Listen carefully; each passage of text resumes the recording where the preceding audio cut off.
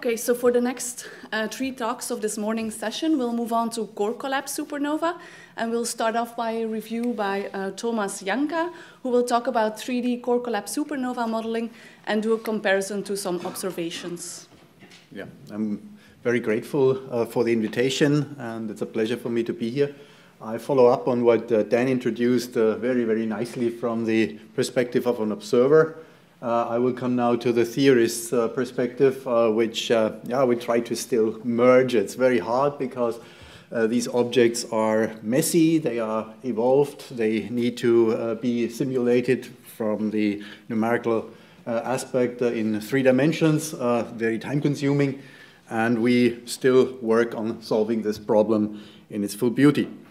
Uh, so the reason why I came here is not this event, uh, which I was asked by email by a colleague. Uh, uh is that the reason why you're in London, supernova uh, running exercise or running competition? no, we actually are more. I don't know why they name it supernova. Actually, you can register here, pre-register actually.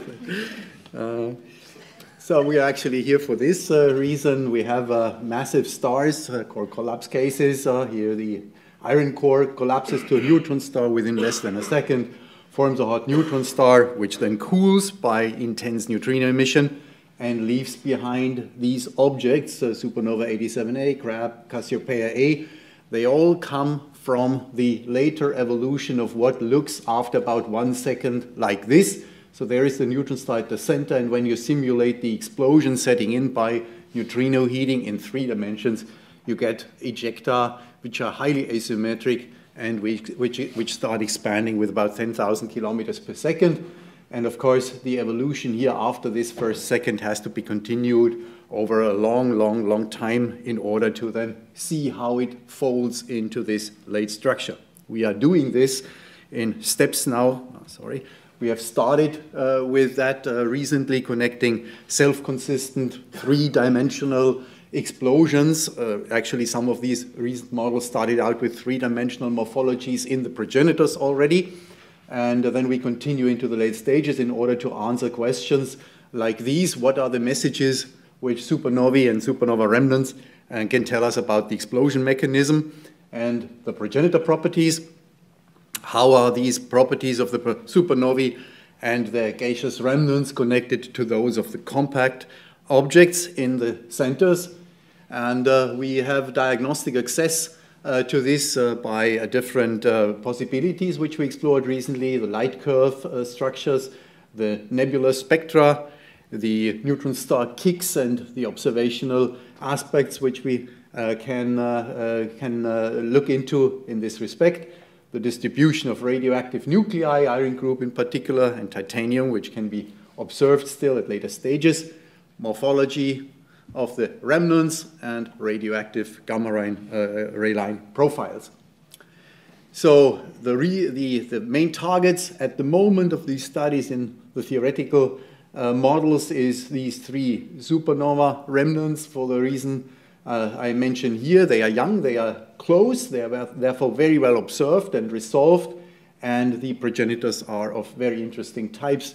Uh, and as uh, an, an, experimentalist, I also have to constrain the model somehow. So we have to look at the right progenitors. Uh, we cannot simulate hundreds of models in 3D. And we have to also get the models exploding with the right energies.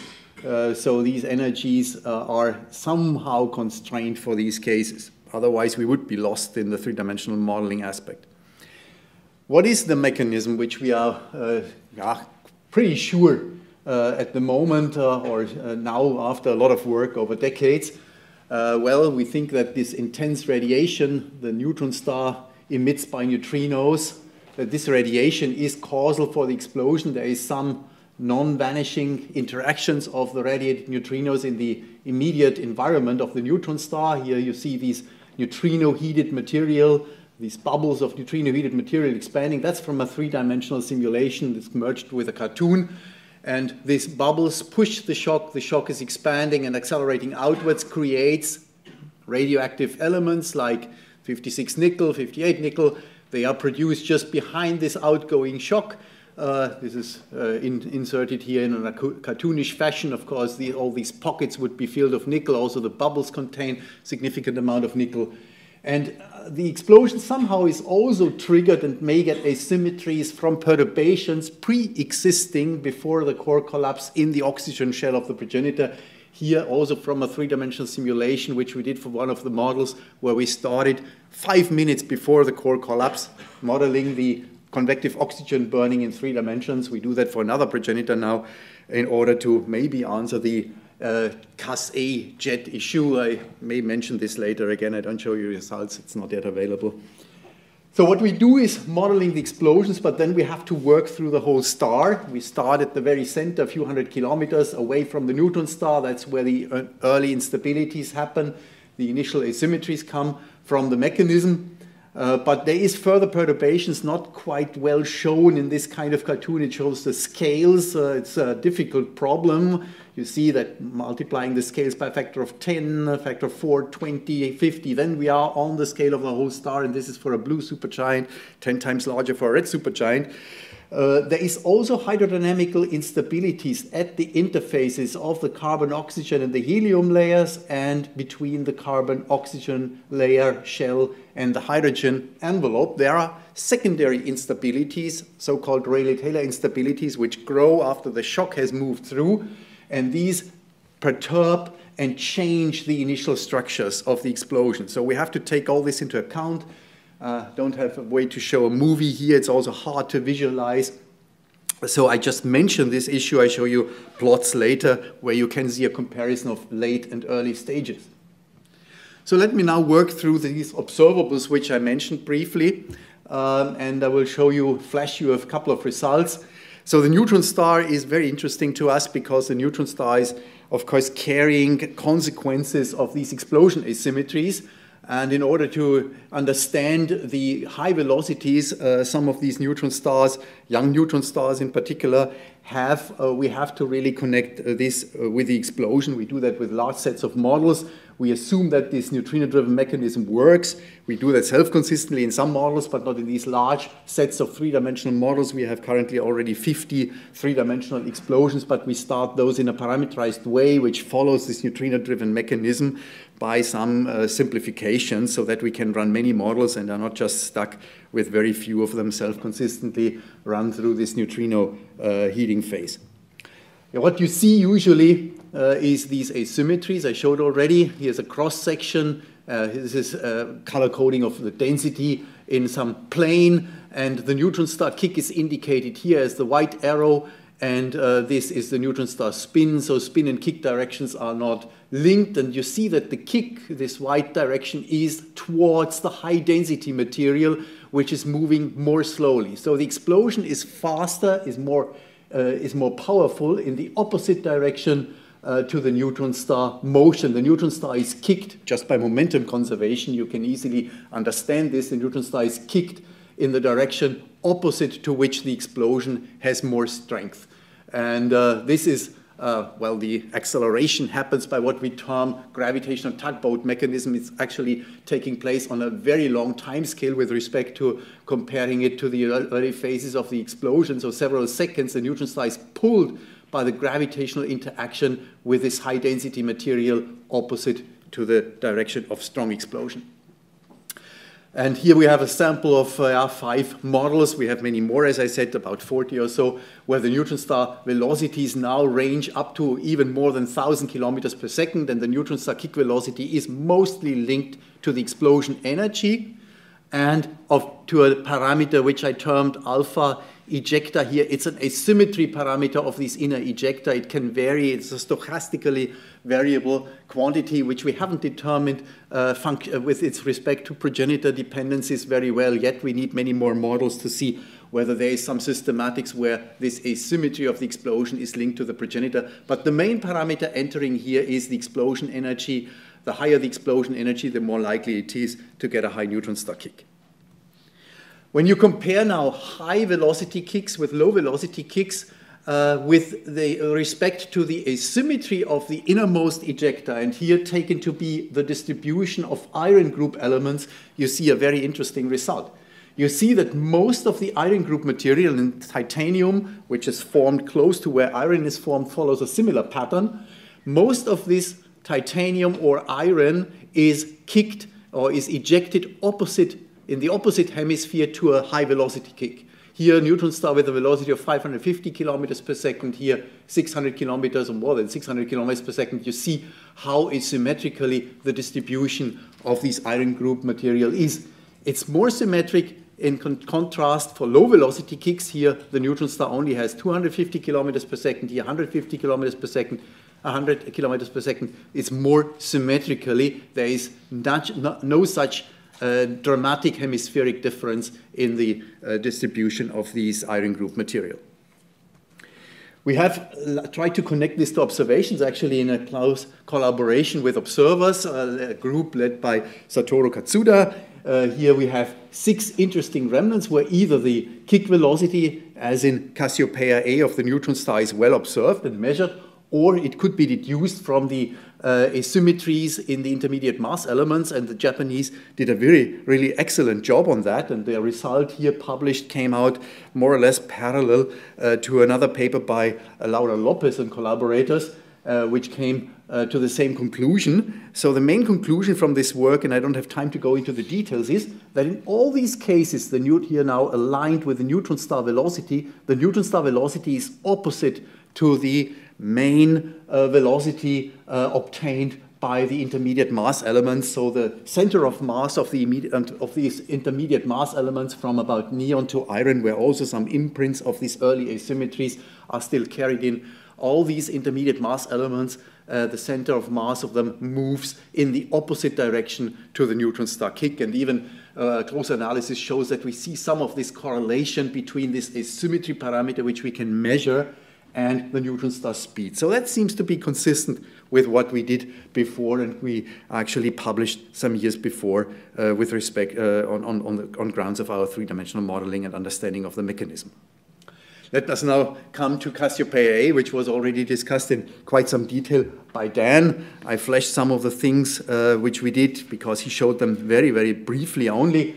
So this was a very fantastic result by the Grefenstette uh, group in Nature 2014, where they showed the iron, uh, the titanium distribution directly measured, and uh, they actually compared this to the kick uh, direction of the neutron star. So this is uh, the, the high, uh, highly enriched titanium clumps, and you can see here the neutron star kick is in the opposite hemisphere. That's exactly compatible say a similar image from the same paper, exactly compatible with what our models show where uh, in cases where the kick is high. Here is one of the models which we simulated, two dozens of simulations at that time when we published the paper uh, for this uh, model. Uh, we had one case which looked morphologically very similar to the CAS A remnant. Here is the simulation, neutron star kick and iron distribution and titanium distributions when we assume that the reverse shock has moved uh, halfway into the remnant and has heated the iron. Iron will be visible only outside of the reverse shock in this shock heated shell, while titanium can be seen all over the remnant. So that is what we would compare directly to what Cassiopeia A observations show. I show you some other images. Dan has shown similar ones uh, where you see this iron concentrated in this uh, reverse shock heated shell in three purple regions here, three fingers or plumes, and we compare this to the same model. I showed you here another image. I think that is even from Dan, if I'm not mistaken. And here we see these three plumes where you have iron uh, rich material, but iron is expected to be also inside of this position of this circle where I mark the reverse shock location. And this is the neutron star kick. And then you raise the question, yeah, the neutron star kick seems to know somehow why, why it should move in the direction where there is no high velocity material. Uh, actually, the answer from the perspective of a theorist is, yeah, of course, I mean, high velocity material uh, takes away the momentum in this direction while the neutron star carries the momentum in the other direction. So the fact that the neutron star in CAS A is not seen to move in the direction of the high velocity material is exactly compatible with what you would expect on grounds of theory. Now, this is also from Grefenstette, but from a paper two years later, 2016, uh, actually 17. And you can see that here the silicon 2 material, here these knots indicate the titanium locations they had uh, two years or three years later. They had a three-dimensional analysis of the titanium, including the radial uh, velocity, uh, which they analyzed subsequently uh, to the Nature paper. And here you can see that the silicon, and including uh, also some regions with titanium, are forming a thick, what is called a thick disk, uh, they call it a thick disk, and we also see this in our simulations. The same model again. This is the front view I showed you before, and now we look at it from the left side, so the left view, and you see that these ejecta more or less uh, are condensed uh, to a thick disk-like uh, structure. Here it's, uh, I think, iron, uh, which we showed it. Here it's titanium, and here you can see the neutron star kick is here shown as a vector. The observer would look uh, at the remnant from the right-hand side, so uh, in the y direction, so the neutron star is kicked towards us. I have shown this here as an arrow as well, and this comes from the analysis of Grefenstette as well. Titanium, most of the titanium is in the opposite hemisphere, takes away momentum to the opposite side. The neutron star is kicked in this direction, and they determine a radial velocity of minus 250 kilometers per second, and the uh, tangential velocity is of the order of 320 to 360 kilometers per second. That would mean there is an angle between the line uh, of sight and the direction of the neutron star motion of about 60 degrees, which I showed here by the arrow. We actually come to the same conclusion uh, in a new analysis. It's a paper in preparation, work done by Anders Jerkstrand in my group at the moment, where Anders is doing three-dimensional uh, transport of gamma rays in our three-dimensional explosions. And here you see some uh, data comparison of the uh, Grefenstette data with his line profiles. And you see they match pretty well for two cases here. The two lines here uh, are just a test. Don't, carry about, uh, don't worry about the differences here. So you see here two observer directions. And uh, these are optimal directions which we chose. Here you see the directional uh, dependence of uh, the uh, um, uh, least mean uh, square, not of the least mean of the chi parameter. So the optimal direction would be about here, but this direction is similarly good. And here are the line profiles observed from these directions. And they are off from the neutron star kick direction by about 30 to 70 degrees. So that is fully consistent with what Grefenstette published. Now let's come to supernova 87A. Uh, here, that's what I promised to you, the morphology at early stages, some second or two seconds after the onset of the explosion for four different cases. Here, blue supergiant B15, that's the very first model which Stan Woosley published um, in uh, a year after supernova 87A. And here is a, a Nomoto model, which we exploded also by the neutrino-driven mechanism and here's another more recent uh, 87A progenitor from Stan Woosley exploded four seconds after the onset, or 4.7 seconds after the onset of the explosion, and yet a newer model which Stan published another 10 years later. So every 10 years he published a supernova 87A model. We got a bunch of recent models, also more recent ones a year ago or two years ago, which we have now posted with Victor Utrobin in light curve studies on the server. And here you see the morphology of these explosions after about a day of expansion and mixing in the explosion. You see that this differs from case to case. So it is very progenitor dependent how the early instabilities look later and how these interfaces between the carbon oxygen core and helium shell and helium layer and hydrogen envelope, how these interfaces uh, break up by instabilities and um, yeah, modify the early instabilities at a later stage. And we studied these uh, mixing effects with respect to how does it shape, does, do they shape the light curve? Here you see this set of models uh, analyzed in uh, the light curve studies Victor Utrobin has done, and this is part, uh, it's actually not in preparation, it's on the archive already, we posted it end of last year. And you can see that the best fit you reach is with this oldest model B15, but B15 is down there in the uh, luminosity temperature diagram, so it doesn't actually match the progenitor, um, yeah, the progenitor of 87A very well.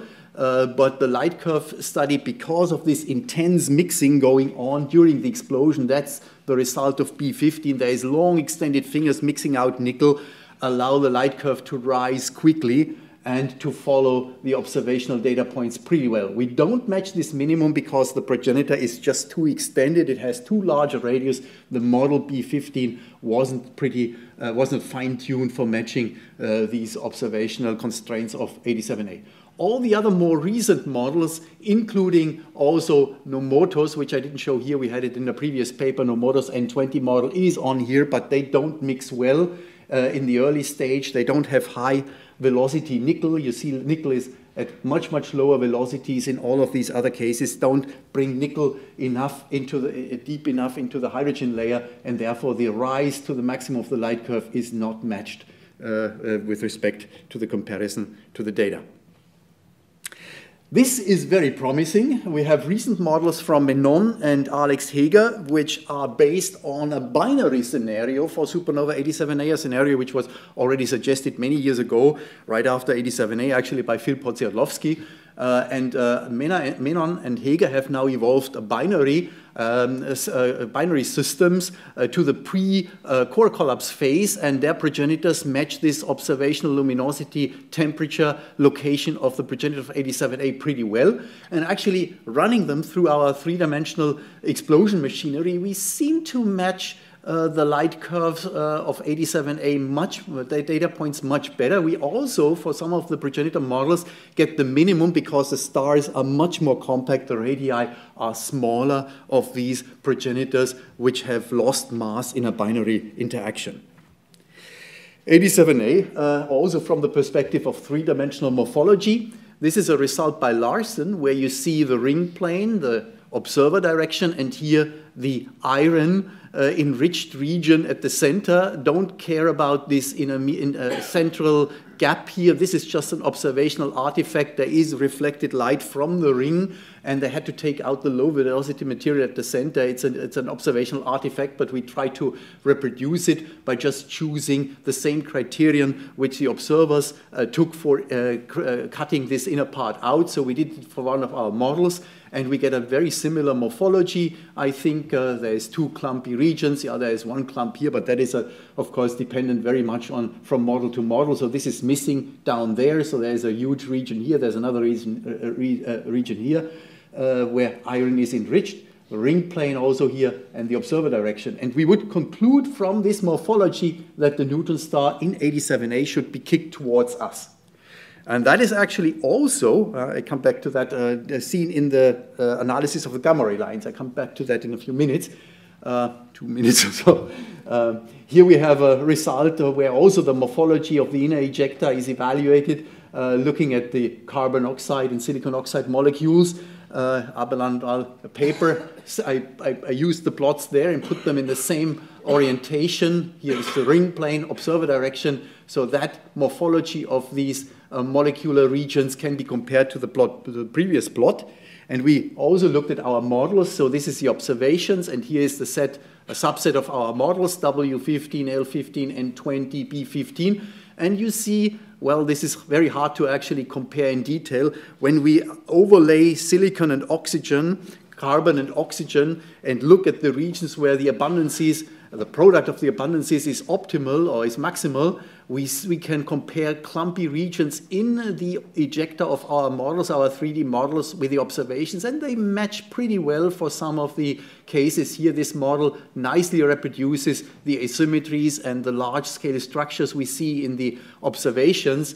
Uh, there is a, a, hole which is also observed here. Well, the hole is missing, however, in the silicon oxide. It's here in the observations, but not here. Other models like these ones show the hole. So there is no perfect match also because we didn't fine tune. And on the other hand, as I told you, there is also some uh, problem or some uh, um, uncertain uh, aspects to the progenitor structure.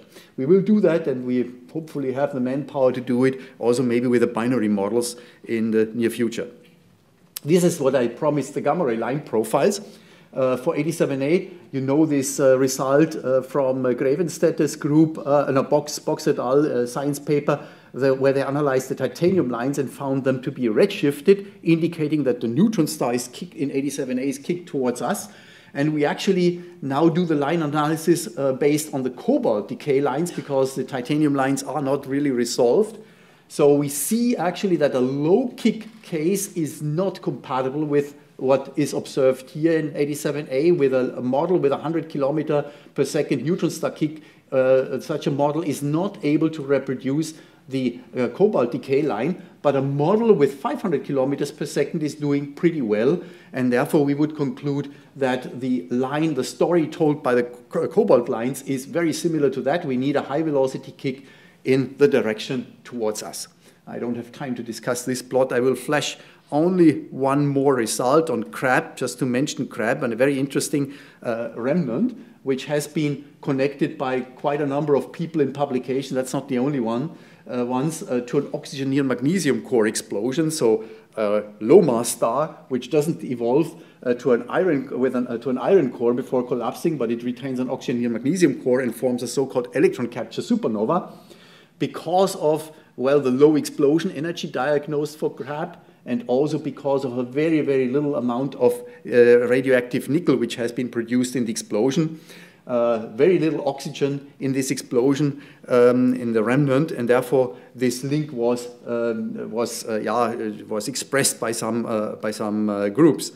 But there is a big problem. We simulated three-dimensional explosions of oxygen neon magnesium core models. Here you see one example of this three-dimensional explosion which Alexandra Gessner my group simulated. And with a bunch of models in 2D and 3D, we found or we evaluated for the neutron star kick distribution. And we got the maximum kicks of the order of a couple of uh, kilometers per second in these oxygen neon magnesium core explosions. The reason for the low kick is, of course, that the oxygen neon magnesium core is surrounded by low density material and there is no way to kick the neutron star to high velocities. So this is in clear conflict with the fact that the Crab pulsar is observed to have a proper motion of about 160 kilometers per second, uh, absolutely incompatible with the origin of this neutron star from an oxygen neon magnesium core collapse or a so-called electron capture supernova. So what kicks the neutron star? Yeah, maybe it's not a hydrodynamical mechanism, but anisotropic neutrino emission. That's a completely different scenario, not excluded, but requires in yeah, uh, exotic neutrino physics to get up to 160 kilometers per second. Or the other possibility maybe is a binary breakup uh, of a system where the explosion was connected uh, to uh, one of the components and the velocity which we see for the neutron star is the breakup velocity of the binary system. I skip these two slides and just flash my summary. Thank you for your patience. And thanks again to the organizers uh, for the possibility to, to present my results here.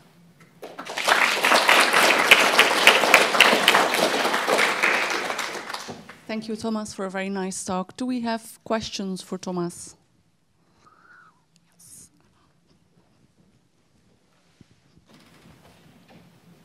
Um, just a clarification. Um, I understand uh, mixing could affect the symmetric structure of the uh, nickels, but how does it affect the light curve? It was not quite clear to me. So. Uh, yeah, yeah. Of course, I did not have time to uh, uh, to explain the physics in detail.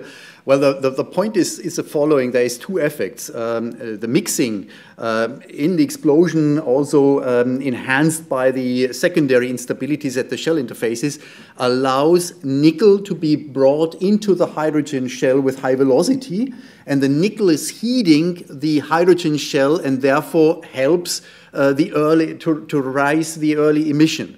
On the other hand, also hydrogen is mixed inward, and inward mixing of hydrogen needs to be, uh, um, yeah, needs to be efficient in supernova 87A in order to get the length of the maximum, the duration of the maximum. Whenever you see uh, inefficient mixing, just try to go back here, in models uh, which don't mix very well. Mm, let me see that I can. Yeah, uh, where the mixing uh, of hydrogen inward is deficient, you see that you don't, uh, you're not able to uh, to match the late uh, the late phase of this peak down towards the tail of the supernova. Yeah, to, to the light curve tail. So hydrogen, inward hydrogen mixing raises the luminosity here, outward mixing of nickel here, and if the mixing is inefficient, then you don't match the structure of the maximum. I apologize in advance in case my suggestion isn't relevant. unfortunately, we cannot retrospectively uninvent fission and thermonuclear weapons, but quite a lot of information about their structure and function and very ultra high speed photography of early stages of the detonations is in the public domain. So I just wonder if that information, when it's quite detailed, may be of help to people doing modelling in the way that you do. I, this came into mind looking at your early stage morphologies.